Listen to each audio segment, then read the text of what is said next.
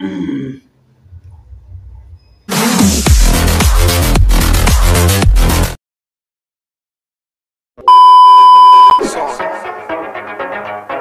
लोग के पास प्रूफ था भाई? जितने भी लोग सब बात पे यकीन कर रहे थे। कुछ पता था क्या सीन है क्या मैटर है नहीं ना? यार अब्दुल मियाँ अब तेरे को समझा रहे कि इस कंट्रोवर्सी में कूदना बंद कर दे लेकिन तेरे को समझ में नहीं आ रहा है। क्यों? व्यूज़ का चक्कर कुछ ज़्यादा ही हो गया क्या? अब्दुल मियाँ अपने इंस्टाग्राम में और इस जिस टाइम में भी बोलना है कि मेरे भाई का मैटर था, तभी मैंने बोला। मुझे वैसे कंट्रोवर्सी में कूदना पसंद नहीं है। अरे, मेरे भाई, तेरे खुद तेरे खुद भाई ने कहा था कि तू इस कंट्रोवर्सी मत आ। लेकिन व्यूज़ का चक्कर तेरे को भाग गया। तुझे पता था कि इससे पैसा छापेंगे, जिसके तीन लाख, चार लाख व्यूज़ जाते हो और एक मिलियन व्यूज़ मिलने हो जिस कॉन्ट्रोवर्सी से। तो कूदना तो बनता है। तुम कंट्रोवर्सी में कूदे, कोई दिक्कत नहीं। लेकिन ये कि तुम सलाह दे रहे हो दूसरों को कि भैया लोग व्यूज़ के चक्कर में वीडियो बनाते हैं, तुम भी तो व्यूज़ के चक्कर में दो दो डिस्ट्रैक्ट एक ही महीने के अंदर निकाल ले, वरना तो तीन तीन महीना दिखाई नहीं देते हो। इस कंट्रोवर्सी से डी अब्दुल का जो चुल मची है तो इसने एक और डिस्ट्रैक्ट हक दिया, जिसका नाम है फैक्ट ऑन अब्दुल मियाँ, जो तुमने ये डिस्ट्रैक्ट फैक्ट ऑन निकाला और जो रैप किया है फैक्ट ऑन बताते हुए तो एक फैक्ट तो ये भी है कि तुम जो रैपर हो, ऐसे रैपर हर गली में चाटों मिल जाते हैं। तो कोई बात नहीं, अब्दुल मियाँ रैपर कहना पड़ता है, कहना पड़ता है। तो इज़्ज़त कहोगे होगी? टिकटॉकर कहोगे जैसे अब तुम्हारा भाई कहता, फिरता है तो इज़्ज़त तुम देख ही रहे होती नहीं है। तो तुम्हें तो अपने आप को रैपर कहना ही पड़ेगा ना। वरना टिकटॉकर से बदतर हालत है तुम्हारी। कसम से एक बात बता रहा हूँ डी अब्दुल का कोई रैपर है? मेरे को तो पता नहीं थी, ये कंट्रोवर्सी से पता चला कि तुम भी हो कहीं भैया रैपरों में गिने जाते हो। खुद ही अपने मुँह से गिने जाते हो, लेकिन गिने जाते हो, अपने आप को रैपर कहते हुए। भैया तुम्हारा रैप सुनने से अच्छा है ना?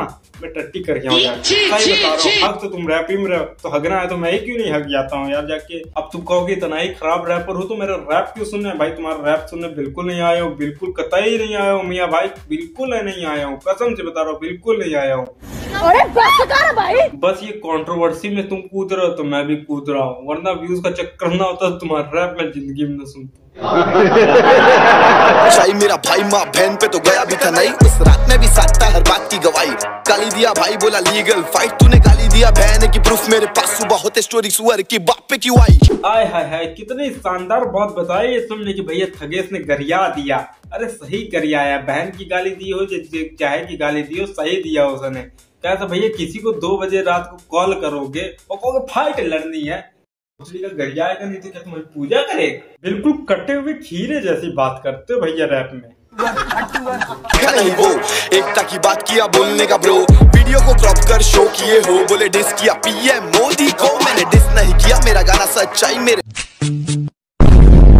सच्चाई की खोदे, अरे सच्चाई की खोदे। मोदी का रैप, तुम्हारी औकात है।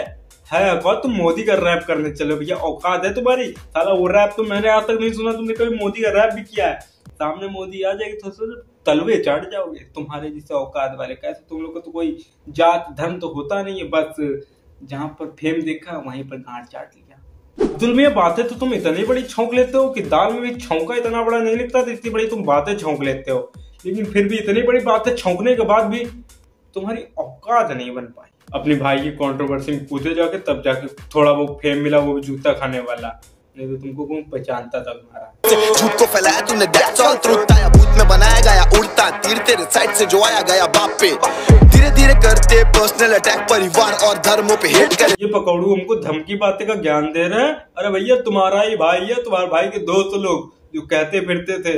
मार तो दिया तुमने उस बेकसूर तबरेज अंसारी को लेकिन कल जब उसकी औलाद बदला ले तो ये मत कहना कि मुसलमान आतंकवादी है। ये वही लोग हैं जिनको नहीं पता। अपनी आंड का और गांड का ज्ञान फिर भी चलते हैं ब्रह्मांड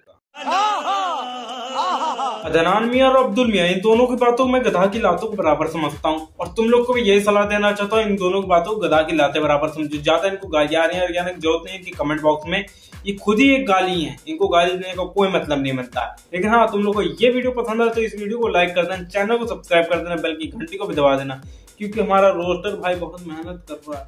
तो उसको मिलना चाहिए ना। फल इन लोग को गाली दे के कोई फ़ायदा नहीं है। लाइक सब्सक्राइब करोगे तो उसका फ़ायदा किसी को और तुमको दोनों को हो जाएगी नोटिफिकेशन तुम्हारे तक पहुँच जाएगी। तो वीडियो अच्छा लगा तो लाइक कर देना मैं मिलता हूँ नेक्स्ट वीडियो में, तब तक के लिए जय हिंद।